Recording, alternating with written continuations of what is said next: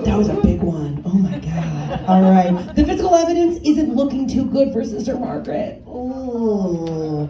Um, uh, she seems so honest by admitting her feelings for Mrs. Cheatham, but is she hiding something? All hot girls are. And what occult beliefs has she been sharing with Mrs. Cheatham? Ooh. That's right. That was a good reaction. 10 out of 10. All right.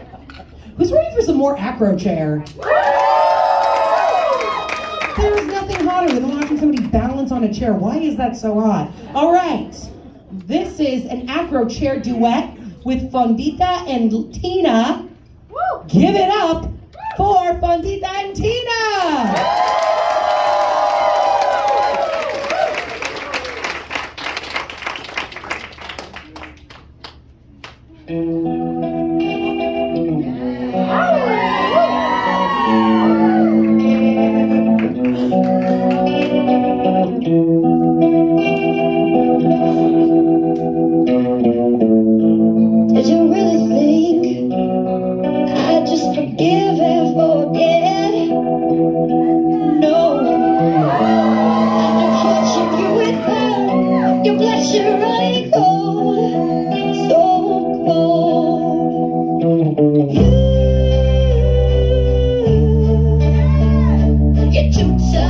Cheap, I wanna be.